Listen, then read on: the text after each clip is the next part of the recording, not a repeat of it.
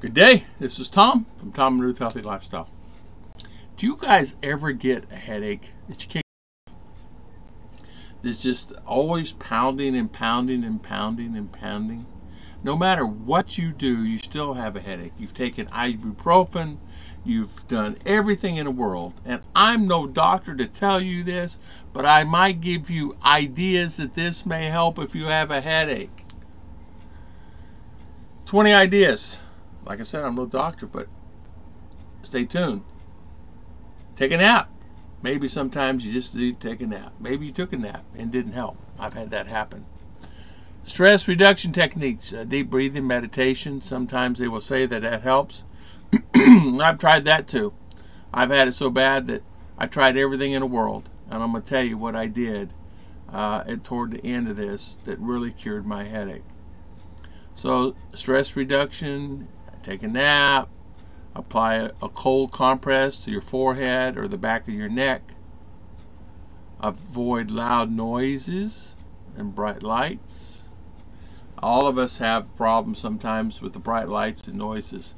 Noises, I went out this morning and uh, as you know we have a rooster field here now and a rooster field over there. Somebody got 200 roosters now, he, the guy was telling me. So it gets really noisy here. And then a guy over here just uh, started a dog pound a dog uh, raising German Shepherds for the police department. And he has about 60 dogs. So you just have to keep an eye on things and uh, be prepared for noise. Noise can really affect you. So over-counter pain, such as pain relievers, ibuprofen or aspirin can help. Some people say take a bath or shower to relax your muscles and helps you. A lot of times the steam will help me because a lot of times it's here, but it's my sinuses because of allergies. Here in the Philippines, there's a lot of allergies with all the fruit and all the stuff on the trees that's always blooming, and they never stop blooming. And if you take the time uh, to think about that, and why am I sneezing? I sometimes will sneeze now six or eight times in a row because of uh, they're blooming and blooming and blooming. They're always bloom, blooming. Uh, they always say that uh, that that is a can help you. But a lot of times, with all the allergies, and you take allergy medicine and things like that, sometimes you still get a headache. So a lot of times, your foods and drinks that will trigger headaches, such as caffeine, alcohol, processed foods, uh, things like that will actually affect you. You don't realize. Uh, even good posture, even holding yourself up and your neck and your neck back and exercise your neck. Maybe your shoulders to release the tension. Uh, some people have uh, actually they get uh, massages to help relieve the stress and their pain and neck. I never ever thought that I would ever be doing massages here in the Philippines or anything like that.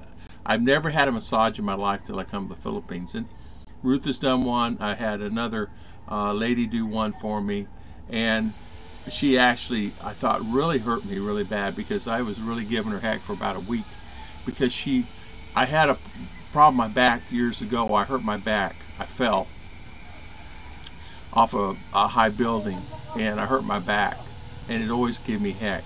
But come to find out, I guess I had a knot in there and she worked out the knot, but I couldn't walk with that. And I couldn't walk and I couldn't walk and I couldn't walk. And come to find out, she actually massaged that out and I, I tell you what, it's it's worth a miracle. I I can maneuver around, even though I kind of could before. But it was always kind of a nuisance. A certain way I would turn, a certain way like this would cause my back to, to, to do it. But if you're actually coming to Asia, of course, great massage therapists there in the States. Some great massage therapists that actually went to school and they could do the stones. And my people, my people, my friends are telling me that they really, really enjoyed having that done with the stones and things like that. It was something really new and nice. Try aromatherapy, essential oils, peppermint and lavender sometimes will break up the sinuses and or smelling that will actually help you. Heating pad, hot water belly to help relax your muscles on your neck and or head. Regular exercise reduce the tension in your body and improve circulation. A lot of times headaches are caused by your blood vessels and they're either tightening up or constricted for whatever given reason. Could be you slept wrong, your neck turned a certain way, Could be stress on a job. Could be just stress in life. We always we always tend to try to uh, try to solve our problems ourselves and try to do things ourselves. And a lot of times, if we just take the time and not get so stressed out about things, things sometimes will just work out on their own. And we get so stressed about things that causes the headaches, which leads into other tension product problems. It leads into heart. It leads into cardio. It leads into your, uh, you know, just you do things that aren't right whenever you're not feeling well. If you're not feeling well, you don't think right, so you end up hurting yourself more in the long run.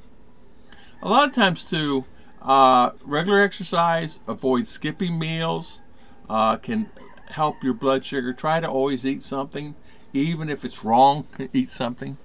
I'm meaning wrong, not wrong mean wrong time or you don't want to eat. Uh, not eating wrong like eat a bowl of sugar or anything like that. I'm not meaning that. I'm meaning eat on regular, eat regular time every day, and that will actually help you a lot.